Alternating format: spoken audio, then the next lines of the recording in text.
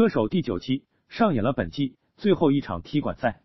尽管前来踢馆的选手实力不济，但在线的六组歌手依旧没有掉以轻心。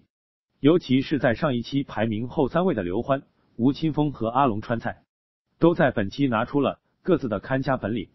也许是过于在乎排名，不愿被淘汰，刘欢、吴青峰以及上期的冠军波琳娜，在本期的竞演中接连失误，着实让喜欢他们的歌迷替他们捏了一把汗。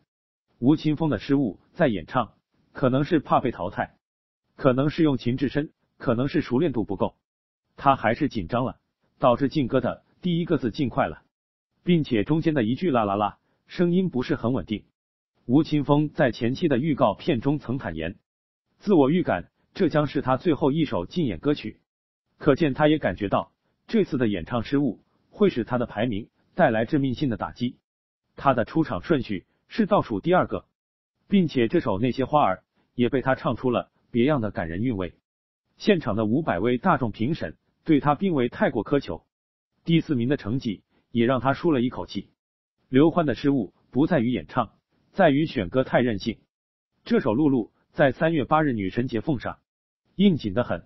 只是节目录制的时间是二月底，现场的五百位大众评审并没能 get 到他演唱这首歌的用意。过于深情的歌曲在。歌手的舞台上并不吃香，这次排在第五名，又给他在选歌方面上了很好的一课。波琳娜的失误既在演唱也在选歌，这首李健的《贝加尔湖畔》根本不是他能驾驭的风格。中文部分他的发音让人听得很别扭，演唱中间还似乎轻咳了一下。后面的俄语部分很炸很大气，但这又打破了这首歌给人是一般的意境。波琳娜这次的改编。并没有成功，排在第七名，一点也不意外。